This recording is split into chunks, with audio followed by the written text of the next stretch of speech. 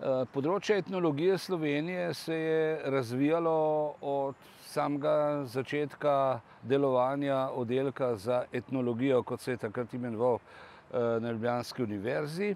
Res pa je, da pomembnejše spremembe v ta temeljni predmet na oddelku je vnesel šele profesor Vilko Novak, ko se je upokojil, moram reči, da je bila zelo pomemben detajl v delovanju našega oddelka v tem, da smo takrat tudi trije mladi sodelavci imeli možnost neposredno začeti predavati. Vnesli smo v ta predmet tudi razsežnost družbenega razlikovanja, ne, se pravi, ni se več govorilo, tako kot so nas nekateri zbadali, češ da, da se ukvarjamo s kmetologijo, ne, ampak smo razširili raziskovanje in naš pogled na vse družbene skupine. Že v asistentskem obdobju sem potem začel raziskovati malo bolj intenzivno posamezna področja, ki so mi bila bližje, a ne. Začel sem s prometom, transportom, predvsem komunikacijami, to me je izjemno zanimalo. Potem seveda so tukaj šege in navade, se pravi ta obrednost, ritualnost in te stvari. No, zdaj pa že krepko čez dvajset let intenzivno raziskujem prehransko kulturo ali gastronomsko kulturo, če uporabimo tujko. Moja odločitev za Slovenijo seveda ni bila povezana z nobenimi kakšnimi hujšimi premisleki, ker sem že od časa študija se izrazito zanimal za to področje. Čeprav seveda so tudi so bili tudi zanimivi izpiti iz neevropske etnologije pri profesorju Kremenšku, ne, ampak nekako mi je ta slovenska tematika najbolj bila blizu. Navsezadnje sem že za časa študija zelo veliko gradiva zbral in mi bi bilo pol mogoče malo čudno, če bi popolnoma od začetka začel spet na nekem drugem področju. Značilno za našo vedo je, da nima ene metode, ne. Dober etnolog in kulturni antropolog mora obvladati številne metode, številne načine dela, jih primerno tudi miksati med seboj, če je potrebno, ne, skratka, to je naša velika prednost in mislim, da prav o metodah mi danes v sodobni družbi premalo govorimo. Zlasti tudi skozi medije, a ne, da bi ljudje vedeli, kako mi pridemo do nekih rezultatov. Zame kulturna dediščina nikoli ni bila neka nostalgija, neko romantiziranje, neko trkanje po prsih, to še najmanj. Tako da skušam še danes seveda tudi to kulturno dediščino, ne, interpretirati vedno skozi sedanjost, saj vemo dobro, da vsaka naslednja generacija odbira, ne, in da marsikaj ostane nasito zgodovine, marsikaj pa pade skozi, a ne.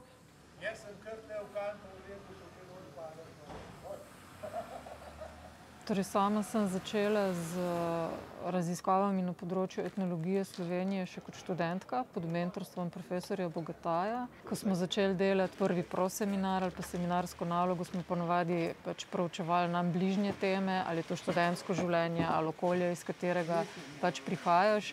In tako sem tudi sama začela v bistvu nekako povezovati etnologijo in novinarstvo, ki sem ga vzporedno študirala. In potem enako je bilo pri diplomi, potem pa podobno, ker sem nadaljevala pod mentorstvom profesorja Bogataja, sem tudi za magistrsko in doktorsko nalogo se s tem ukvarjala, predvsem pa skušala obravnavati tudi neke teme, neka področja, ki v okviru do takratne etnologije, antropologije na Slovenskem še niso bile toliko raziskane, torej, ne vem, spominski predmeti, vprašanja dediščine, ritualov, nekako spomina se mi vseskozi prepletajo. In podobno tudi pol pri doktorski nalogi in na neki način, kolikor je mogoče, to pač delam, nadgrajujem še zdaj. Potem pa, ko je profesor Bogataj se leta dva tisoč deset upokojil, sem pač prišla na njegovo delovno mesto, kar zdaj pomeni, da njegovo delo skušam nadaljevati, nadgrajevati tudi nekoliko po svoje v zadnjih desetih letih. V tem času se je pač par stvari tudi spremenilo s samim predmetnikom, z Bologno, predvsem tisto, kar se mi zdi pomembno, je, da smo edini oddelek, ki uh, etnologijo Slovenije poučuje in tudi razširjeno, poglobljeno preučuje. In v bistvu se mi zdi zelo pomembno v etnologiji in antropologiji to, da se kot uh, raziskovalec ali pa kot človek v bistvu ne skrivaš. Ker je tvoje raziskovanje, naše raziskovanje, vedno pač pogojeno s tem, da raziskujemo kot ljudje.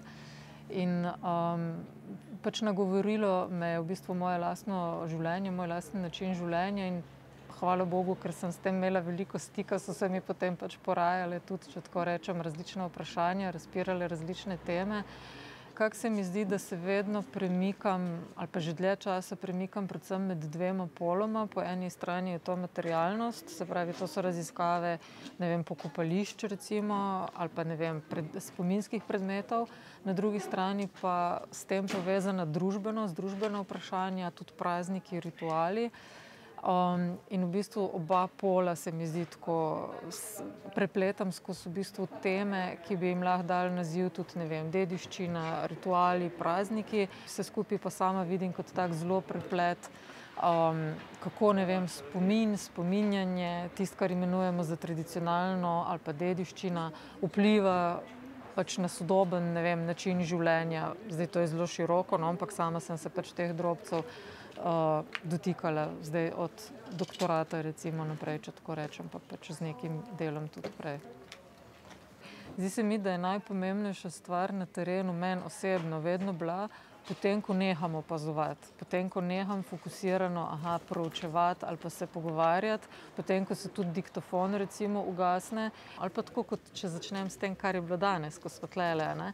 ki je prišel en gospod mimo in je rekel, o, zanimivo, kaj se dogaja, kako se je Slovenija razvila. Včasih so cigani hodili na bošjake, zdaj pa slovenci. Tako da mislim, take stvari, ki v bistvu so neko naključno, neformalno, ne vem, če je to ravno javno mnenje, ampak mnenje posameznikov, ki pa je istočnica za tisto, kaj sploh je pa nek ne vem, problem ali pa kaj bi bilo tisto raziskovalno vprašanje, ki me zanima. Tako je bilo tudi pri vem, praznikih, pri ukinjanju praznikov in pa potem, aha, socialistična mentaliteta in se potem te drobci, recimo tem, s katerimi sem se ukvarjala, na tak način skupaj sestavljajo. No. Tako da te bežne opaske pomen tega področja se mi zdi, se pač ne bo nikoli izčrpal, zaradi tega, ker smo tle, proučujemo to in sicer lahko rečemo, da ja, se danes lahko vsakdo etnolog, se danes lahko vsakdo pokriva polje etnologije Slovenije, ampak sama bi tle rekla, da Um, seveda lahko, ampak odvisno je potem, kaj s tem narediš. Ali gre tle dejansko za neko domoznanstvo, pa zbiranje gradiva, pa